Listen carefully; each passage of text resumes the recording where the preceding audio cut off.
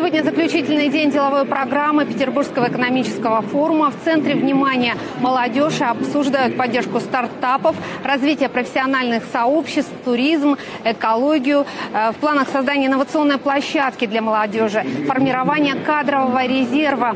Международная повестка тоже в центре внимания. Иностранцы заинтересованы в наших технологиях и специалистах. Все партнеры, которые были э, у африканских стран э, до сегодняшнего дня, это те партнеры, которые интерес в том, чтобы э, эксплуатировать африканские ресурсы. Приходят, завозят, трансформируют и потом нам продают.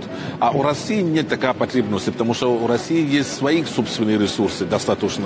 Зато у России есть технология. И Мы сегодня здесь встречали одного из шейха Омана, э, крупных застройщиков Омана, и э, диалог у них очень простой и по- по- по-восточному добрый.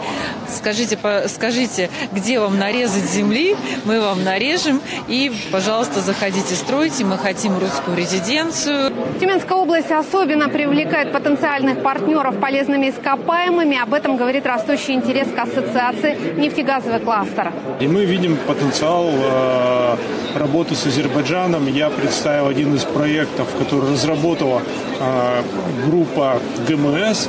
За, это бесштанговый э, проект по бесштанговой добыче нефти. Я надеюсь, что Сакар одна из первых компаний, которая начнет, начнет приобретать данную продукцию у нашего завода. Международный экономический форум еще раз доказал, что многие страны сегодня готовы сотрудничать с Россией, вместе развивать бизнес. Интерес взаимовыгодный и долгосрочный. Татьяна Воротилова, Александр Сторожук, Тюменская служба новостей.